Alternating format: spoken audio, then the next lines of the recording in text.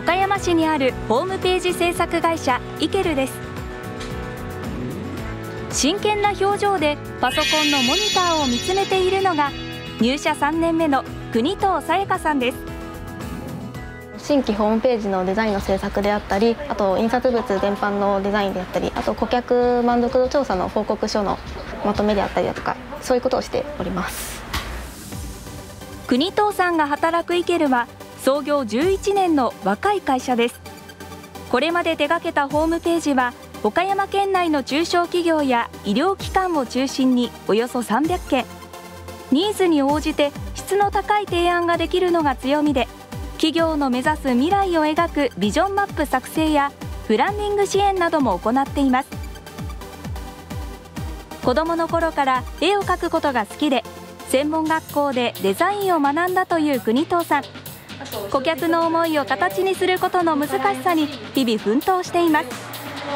アリっていう有松さん。のデザインってゴールがあるものではないのであのそこの落としどころをあの考えるのがとても難しいなというのは常々考えますね。自分のしたデザインであのお客さんが喜んでくださるっていうことも一番ですしあとあのその作ったホームページからあのお客さんのもとにお問い合わせがあったりだとかっていう報告があるととっても嬉しいですしやりがいが感じるなと思います。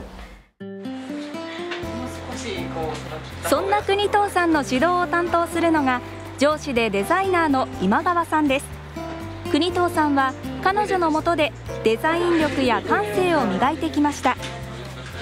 とにかくすごいコツコツ頑張る子なんですよ。で本当にできることがどんどん増えていってあの本当にお客さんの魅力を引き出してあのうまくデザインできるようになってきたなってすごく最近思ってます。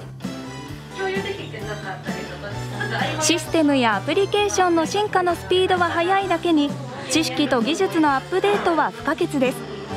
このためイケルでは定期的に勉強会を行い社員のスキルアップを図っているほか個人の目標と会社の成長をリンクさせた独自の経営指針書を作成するなど意識改革にも積極的です。若者の採用や育成に積極的な中小企業を支援する厚生労働省のユースエール企業にも認定されました。諦めずに仕事を続けていればそれがやがてやりがいにつながると思います。皆さんも頑張ってください。